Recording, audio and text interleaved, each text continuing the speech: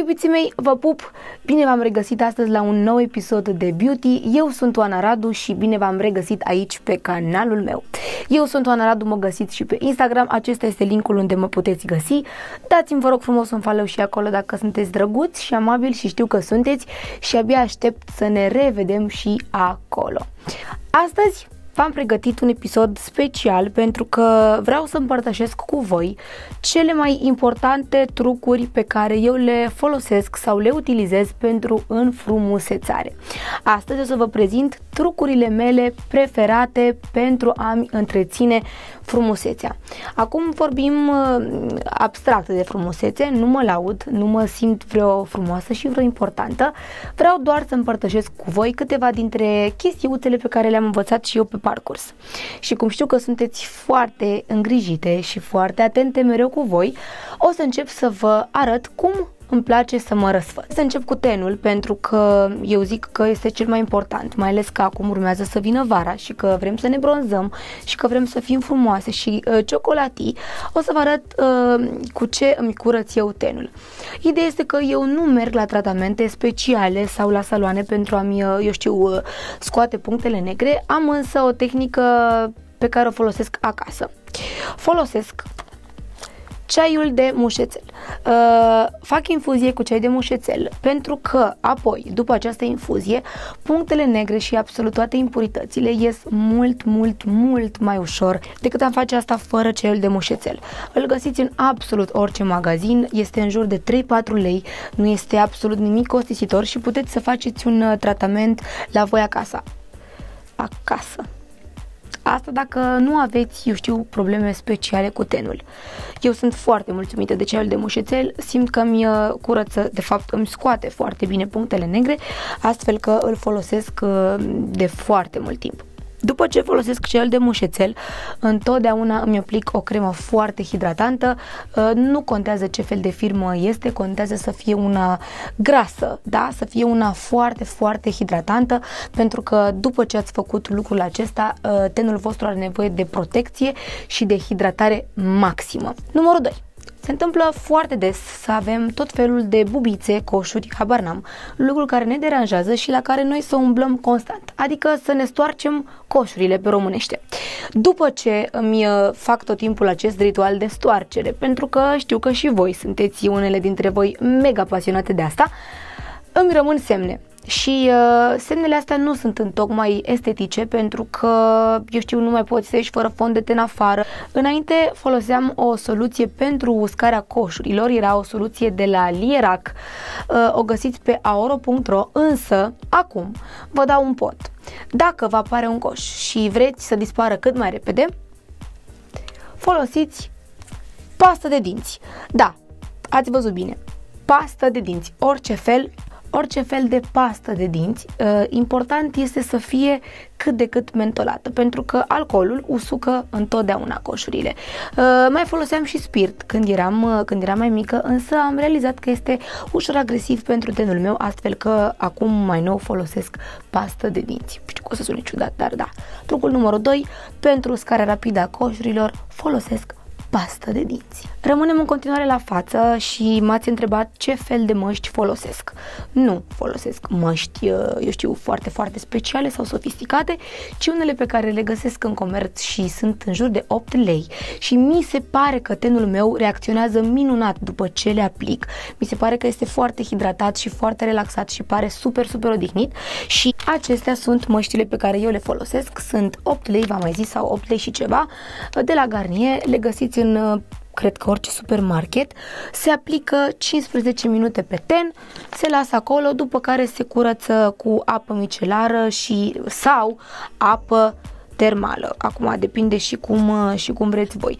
Uh, eu de regulă după ce mi-aplic această mască și curăț apoi cu apă, apă micelară, eu mi-aplic și o cremă hidratantă înainte de culcare, dar iese doar dacă vreți asta, pentru că măștile acestea sunt foarte, foarte hidratante. Așa că, da, trucul numărul 3, măștile de față de la Garnier. Apropo de cap, rămânem în zona aceasta a capului pentru că m-ați întrebat de asemenea cu ce mi îngrijesc părul.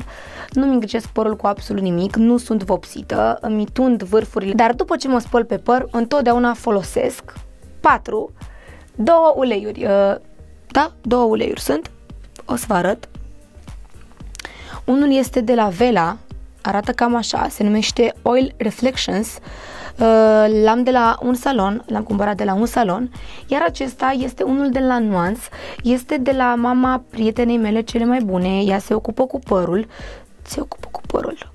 Da, kind of, face păr, adică nu e chiar cu afeză, e un fel de hairdresser.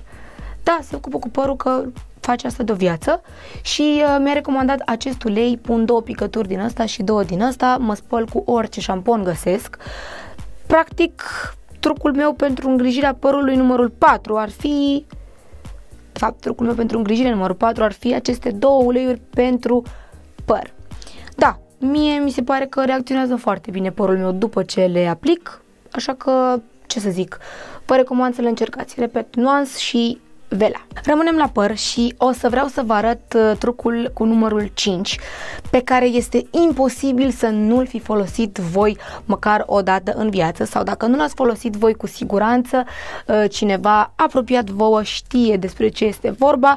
Este vorba despre uleiul de ricin pe care îl găsiți în absolut orice farmacie, este în jur de 2 lei. Ce face uleiul de ricin? Uleiul de ricin pentru mine este un miracol și în combinație cu vitaminele pentru păr. Nu le am lângă mine, dar rețineți, se numesc Anacaps. Le-am descoperit într-o farmacie, le iau de atunci, de când le-am descoperit, le tot iau și uh, mi se pare că părul meu se regenerează, am fire foarte scurte care cresc într-una. Îmi cresc și genele, pentru că mi-aplic și pe gene, practic trucul numărul 5 ar fi uleiul de ricin. Uleiul de ricin pe care îl puteți aplica pe sprâncene, pe gene și pe păr.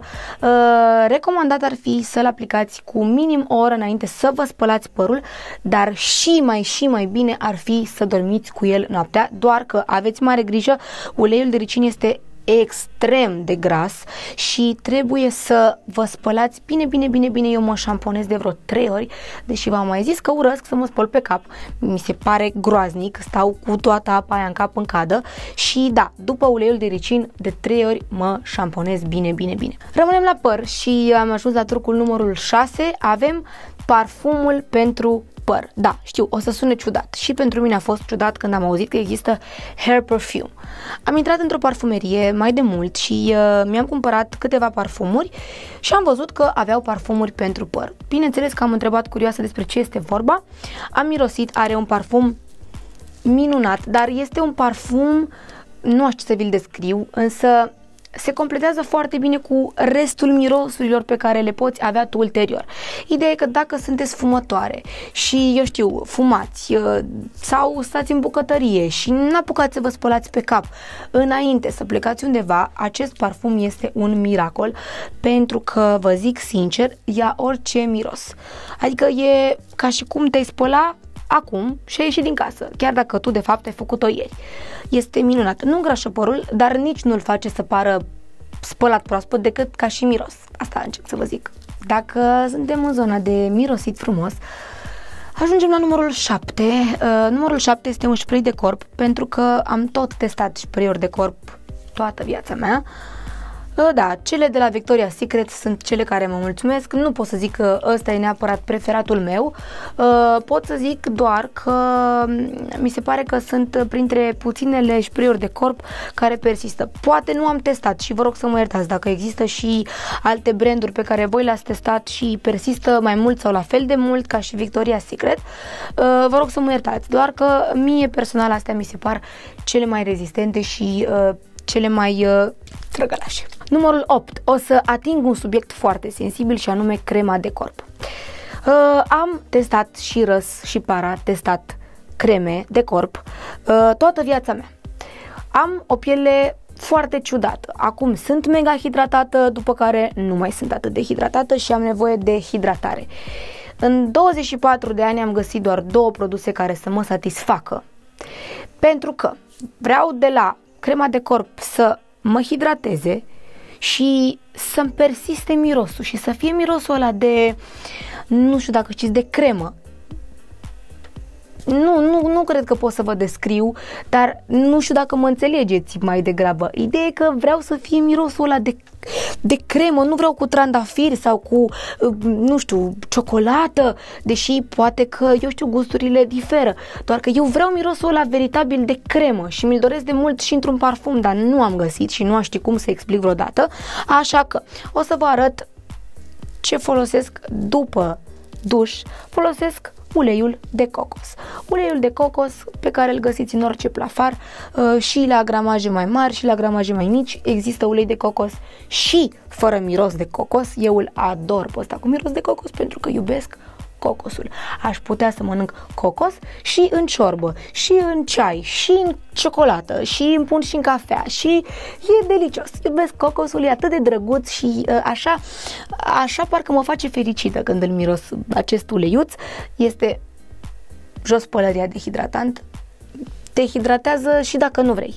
Ăsta numai dacă nu vrei să-l folosești, nu te hidratează. Dar așa și o picătură, dacă ți-ai dat, te super hidratează. Ăsta îl folosesc seara. De ce? Pentru că este foarte gras fetelor și în momentul în care le-ai aplicat pe corp după duș și ți iei haine pe tine, te îmbraci, ă, toată grăsimea lui rămâne în hăinuțe și nu cred că ne dorim asta vreodată. Sau, în aceeași categorie, includ și crema de corp care pe mine m-a făcut să zbor. Este o cremă de la Avon, fetelor, este o cremă de la Planet Spa, de fapt este un body butter, cam așa, trebuie neapărat să-l încercați. Asta este o descoperire, uh, știam de mult de Planet Spa, știu că au produse foarte, foarte tari și la prețuri accesibile.